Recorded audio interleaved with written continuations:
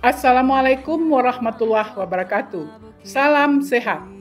Sahabat RSOMH, saya Dr. Erliza, Kepala Instalasi Rawat Inap Neurologi Rumah Sakit Otak Muhammad Hatta Bukit Tinggi, menyampaikan pelayanan lebih di Rumah Sakit Otak Muhammad Hatta Bukit Tinggi. Tingkatkan kualitas hidup pasien stroke dengan pelayanan lebih di ruang neurorestorasi.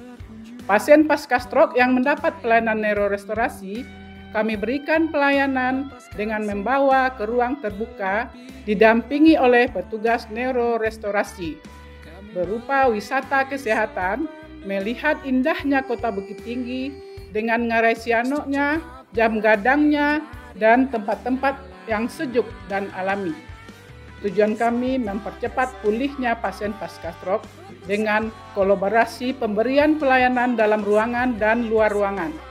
Alhamdulillah, metode ini terlihat pasien lebih rileks dan bahagia. Wassalamualaikum warahmatullahi wabarakatuh. Salam sehat.